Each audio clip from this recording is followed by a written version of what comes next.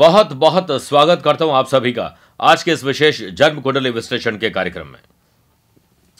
हर इंसान जो कि अपनी पढ़ाई लिखाई कर रहा होता है या कर चुका होता है, उसकी एक मंशा रहती है, एक सपना होता है कि अपना एक अच्छा सा करियर बने।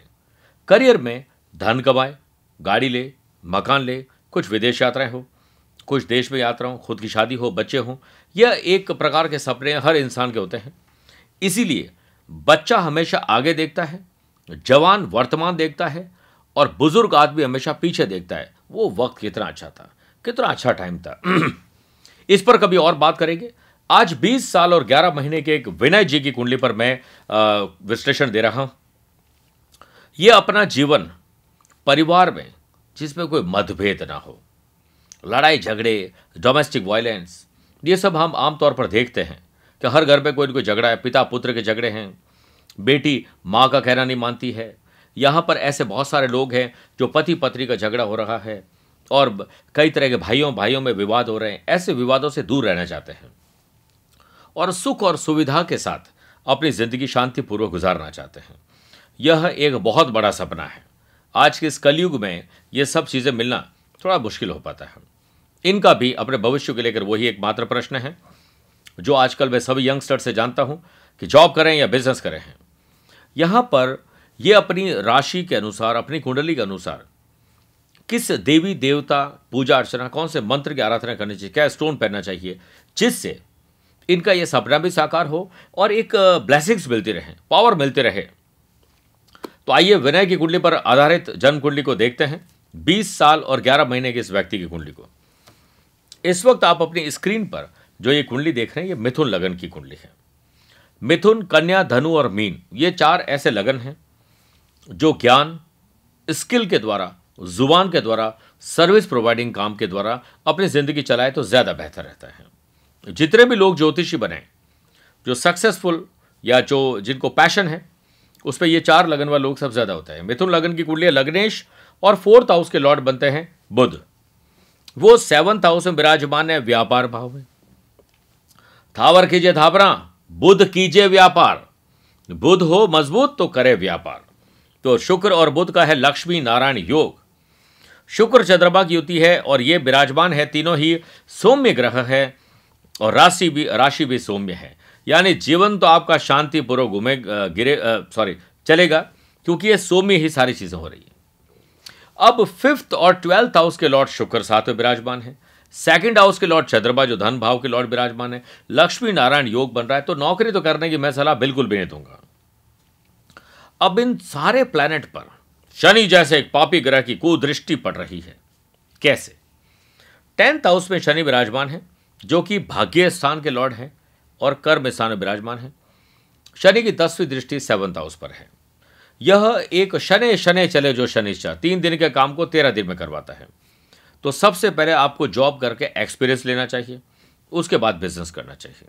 मुझसे अगर आप पहले मिलते तो मैं आपको कहता, आपको लॉ करनी चाहिए एलएलएम करनी चाहिए जुडिशरी की या तो तैयारी करें, या फिर लॉ के फ़ील्ड में अपना करियर बनाएँ।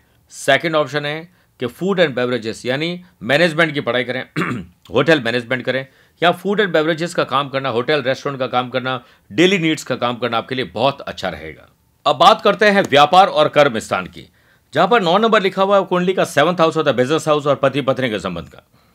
जब बारह नंबर लिखा हुआ कुंडली का टेंथ हाउस होता है। इन दोनों के लॉर्ड बनते हैं, देवताओं के गुरु बृहस्पति।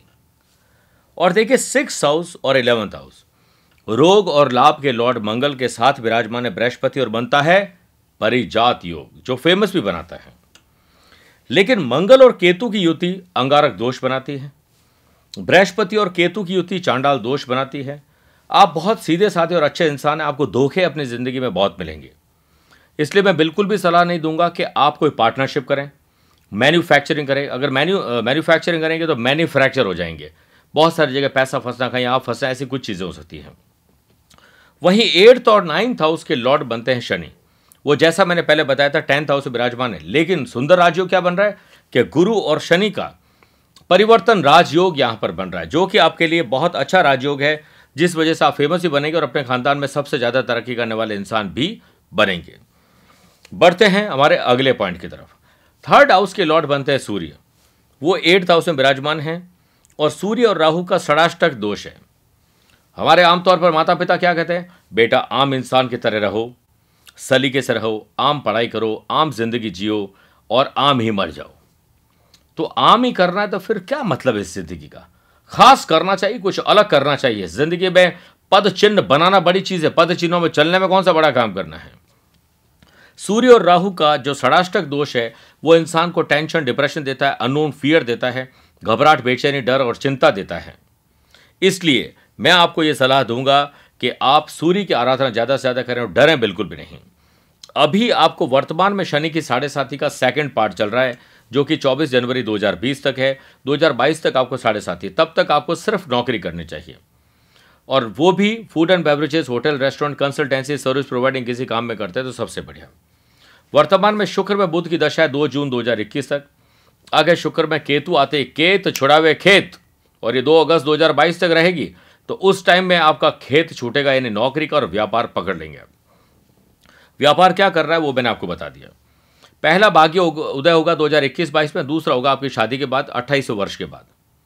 नवमांश कुंडली के एक दो पॉइंट ले लेते हैं, उससे आपकी स्थिति और ज़्यादा क्लियर हो जाएगी। कुंभ लगन की नवमांश कुंडली बनती है, देखिए, बड़ा सुंदर राजयोग यहाँ पर बनता है। क्या बनता है? कुंभ लगन की कुंडली में शनि ट्वेल्थ हाउस में स्वग्रही होकर विराजमान है। एट्थ हाउस में विराजित, राहु की पांचवी दृष्टि भी ट्वेल्थ हाउस में है। तो शनि अगर स्वग्रही है तो निश्चित रूप से आपके साथ जीवन में न्याय होगा।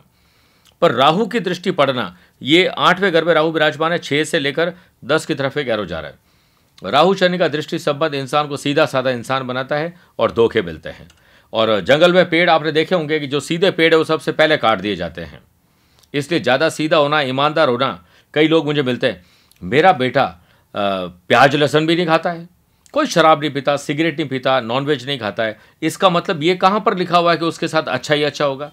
और ये कहाँ पर लिखा है जो शराब पीते हैं, सिगरेट पीते हैं या प्याज, लहसन खाते हैं गुटखा खाते हैं तो उसके साथ बुरा ही होगा? ये कोई ज़रूरी नहीं। कहाँ से लेकर आते हैं ये सारी बातें? सेवंथ हाउस बिज़नेस के होते हैं, इसके लॉर्ड बनते हैं सूर्य। वो थर्ड हाउस में विराजमान है, उच्च राशि के। वहाँ पर सूर्य आपकी कुंडली में बेकार थे तो यहाँ सूर्य उच्च राशि हो गए, ये बड़ा प्लस पॉइंट है। वहीं थर्ड और टेंथ हाउस के लॉर्ड मंगल बनते हैं, वो टेंथ हाउस कर्म स्थान में परिजात योग फिर फिर बन रहा है। निश्चित रूप से आप सफल बनेंगे। खुद मान लीजिए कि मैं सफल बनकर रहूँगा। इसमें जो तकलीफें हैं कि यहाँ पर आपकी कुंडली में बुद्ध विराजमान है, मंगल और बृहस्पति के साथ डैमेज। बुद्ध, थावर कीजिए थापना, बुद्ध कीजिए व्यापार, जो मैंने सेंटेंस में आपको बताया था, उसमें बुद्ध यहाँ पर कमज़ोर बन जाते हैं, जो आपको बहुत विचलित और डायलेमा में रखेंगे। गुरु मंगल का जो परिजात योग और रोचक रोचक योग यहाँ पर बनता है, कुलदीपक योग भी बनते हैं। लेकिन बुद्ध ने यहाँ पर गड़बड़ कर दी है। इस वजह से आप 28 वर्ष और 2021 के बाद ही आपका भाग्योदय होगा। कड़ी मेहनत, खुद पर विश्वास। ही आपको तरक्की करा सकता है। आप बार बार कंफ्यूज होंगे डबल माइंड में होंगे डिसीज़न लेने के बाद कंफ्यूज हो जाएँगे, होगा नहीं होगा, खुद पर ही विश्वास नहीं। इसमें एक चीज़ है कि फोर्थ हाउस जो है आपकी कुंडली में, उसके लॉर्ड जहाँ पर चंद्रमा लिखे हैं, और नाइन्थ हाउस जो भाग्य का होता है, उसके लॉर्ड बनता है शुक्र।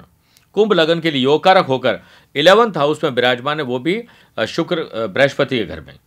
लेकिन इलेवंथ हाउस के आगे शनि और पीछे मंगल विराजमान है, पाप कर्तरी दोष। कुछ ऐसे कॉम्बिनेशन हैं जिसमें मैं ये सलाह दूँगा कि आप सबसे पहले एक्सपीरियंस प्राप्त करें।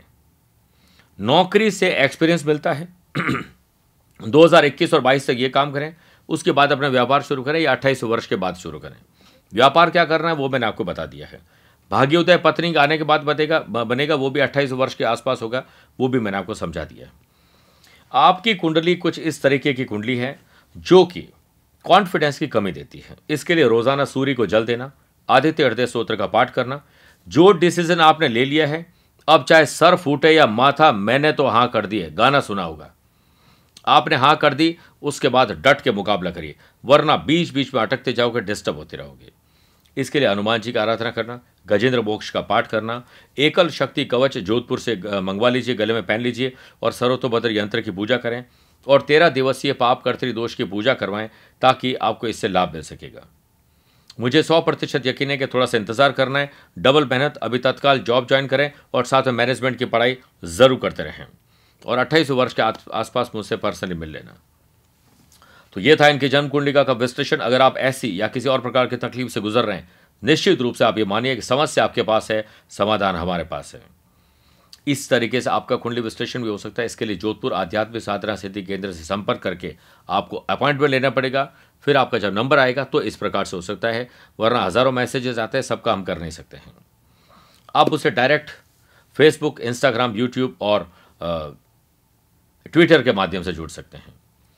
आप ग्रहों का खेल dot C O dot I N मेरी वेबसाइट है, जिस पर जाकर बहुत सारी जानकारी ले सकते हैं। ग्रहों का खेल मेरी मासिक पत्रिका जिसके सदस्य बनकर आप बहुत सारी जानकारी हासिल कर सकते हैं। आपका जीवन बहुत अच्छा रहे, आप स्वस्थ रहें, मस्त रहें। यही मैं ईश्वर से प्रार्थना करता हूँ और अपनी ज़ुबान को यहीं विराम देने के लिए इजाज़त देना चाहता हूँ। प्यार भरा नमस्कार और आशीर्वाद। क्या आप कोर्ट कचहरी से परेशान हैं या आत्मविश्वास की कमी?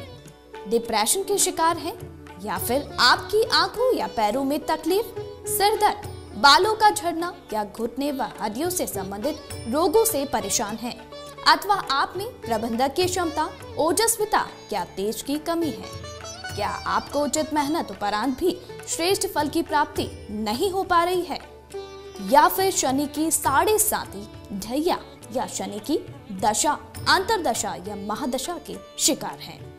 आगामी मकर संक्रांति के महासौभाग्यशाली अवसर पर आपके पास है मौका इन सभी परेशानियों से निराकरण पाकर सुख समृद्धि व शांति प्राप्त करने का।